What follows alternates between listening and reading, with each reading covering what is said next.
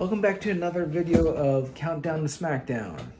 Um, if you've been following us for the today would be the fifth day. Um, we have I have an advent calendar uh, countdown to SmackDown. in DC. Yes, we're going to go to DC.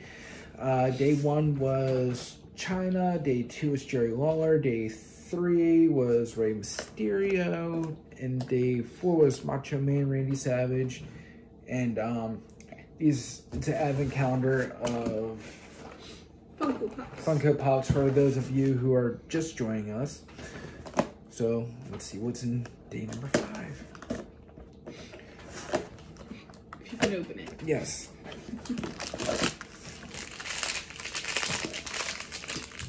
Just came off when you when you opened it. It's alright.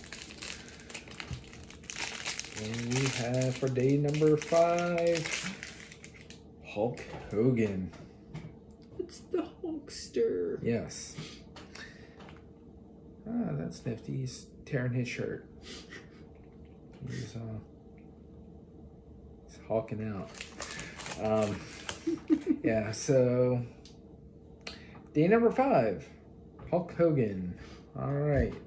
So that's gonna do it for this video of SmackDown and SmackDown the countdown. countdown to SmackDown. Hulk Hogan, number five. And we will see you tomorrow for day number six.